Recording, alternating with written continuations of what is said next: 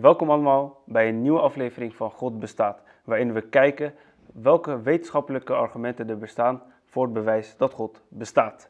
In de eerste twee afleveringen hebben we gekeken naar het kosmologische argument en het fijn afstemming argument voor het bestaan van God. In deze aflevering gaan we kijken naar het morele argument voor het bestaan van God. Dit argument veronderstelt dat als objectieve waarden en plichten bestaan, dus ook God bestaat. En wanneer God niet bestaat, ook objectieve waarden en plichten niet kunnen bestaan.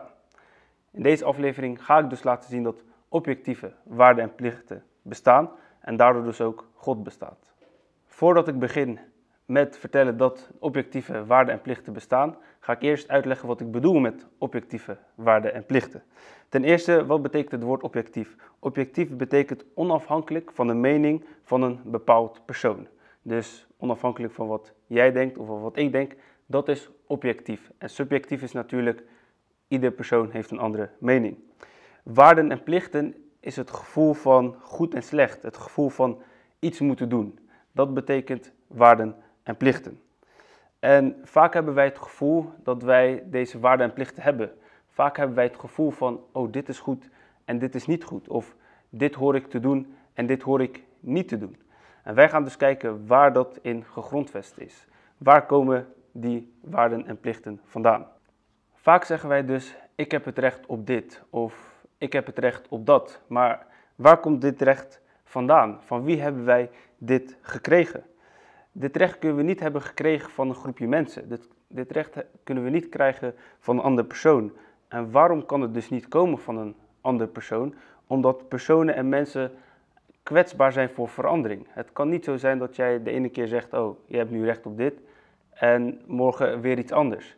Dat maakt het niet meer legitiem, dat maakt het niet meer betrouwbaar. Dus het kan niet komen van een persoon, het kan niet komen van een mens. Want stel, je hebt deze rechten wel gekregen van een bepaald persoon, waarom moet ik dan luisteren naar die persoon die jou een bepaald recht heeft gegeven en niet luisteren naar mijn rechten? Zie je dat? Dan is het jouw woord tegenover mijn woord. En welk woord is dan beter?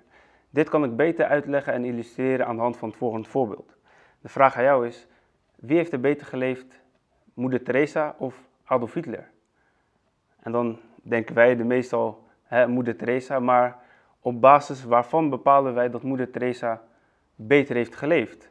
Waarom heeft Adolf Hitler niet beter geleefd? En dan kan je natuurlijk niet zeggen, ja dat is zo, of uh, dat dat denkt de, de meerderheid van de mensen. Zoals net gezegd, wat maakt het woord van mij of van moeder Teresa beter dan het woord van Hitler? Hitler dacht met zijn groepje mensen en zijn land dat zij iets goeds aan het doen waren. En hiermee wil ik dus laten zien dat goed en slecht we niet kunnen bepalen aan de hand van de mening van een bepaald persoon, of van een groepje mensen, of van een samenleving, of van een cultuur. Wat, wat maakt dat cultuur beter dan het andere cultuur? Wat maakt mijn mening van goed en slecht beter dan jouw mening van goed en slecht? Daarom, en dit is het, daarom is het belangrijk dat er een hogere standaard is van goed en slecht. Waar we naar kunnen refereren, waar we naar kunnen zeggen van, kijk, dat is wat goed en slecht is. Dus het moet iets zijn boven de mens zelf. Want anders krijg je jouw woord tegenover mijn woord. Adolf Hitler's woord tegen moeder Theresa's woord. Dat is waarom het belangrijk is dat er een referentiepunt is boven de mensheid. Als je dus niet erkent dat er geen objectieve standaard is of een referentiepunt van goed en slecht, dan kunnen we ook niet zeggen wie beter heeft geleefd, moeder Teresa of Adolf Hitler. Als je niet erkent dat er een hogere standaard is, dan kunnen we ook niet zeggen dat wat jij goed doet goed of slecht is. Want dan is het jouw woord tegenover mijn woord. Ik kan doen wat ik wil, ik kan stelen, want het maakt niet uit. Waarom, eh, als jij zegt dat eh, eerlijk zijn belangrijk is, waarom is dat belangrijk? Ik zeg dat liegen belangrijk is. Snap je? Het gaat allemaal tegen elkaar op. Daarom moet er iets boven de mensheid zijn waar we naar kunnen refereren. Oké, wat is dan deze standaard? Wat is dan deze referentiepunt dat hoger dan de mensheid is?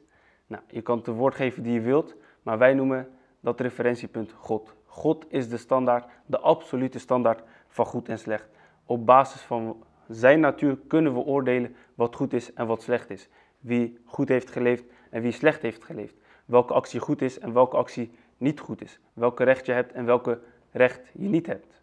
En waar kunnen we dus uithalen dat hij de standaard van goed is? Dat staat in Jacobus 1, vers 17. Iedere gave die goed en elk geschenk dat volmaakt is, daalt van boven neder, van de Vader der lichten, bij wie geen verandering is of zweem van ommekeer.